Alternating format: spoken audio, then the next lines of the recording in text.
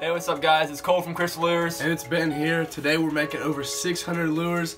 We're all painting them and getting them ready for y'all and shipping them out to you. So uh, check us out and, and just stay tuned to our process. It's been a rainy day in Knoxville. It's been really busy with school, so we haven't really been able to paint. So it really hurts us because we really want to get these lures to you guys as soon as possible. Uh, we're going to show you the ins and outs of how we paint um, and kind of show you how we really do it. So stay tuned.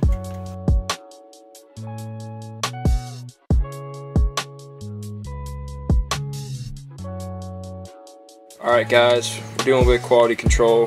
Before we paint, we make sure all the jigs are ready to go. We got Ben right here.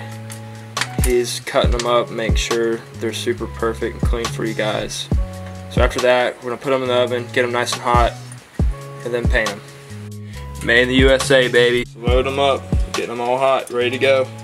Here's Ben right here, he's loading them up too. Alright guys, it's time to paint. So right here, here's our setup.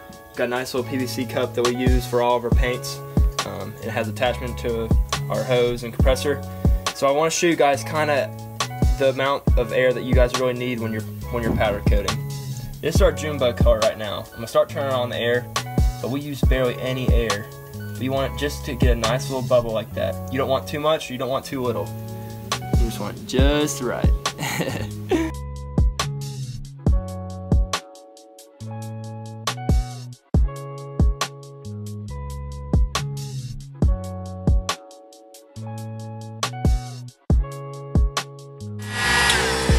What's up guys, just an update here. We're out here and uh, we're just finishing up our white.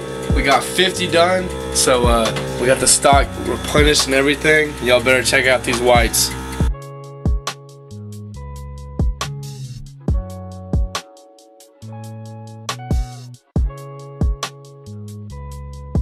Alright guys, second color's down. We just got moss done. It's looking really good. Uh, we're going to do a little bit of roadkill next. Painting them all. It's a big old restock. Let's get it.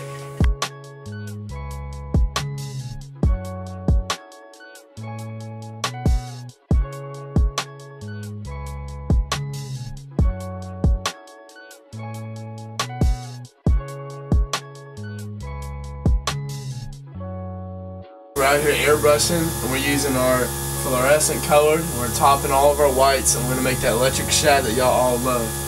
So hopefully y'all will see them on our website. Go check them out.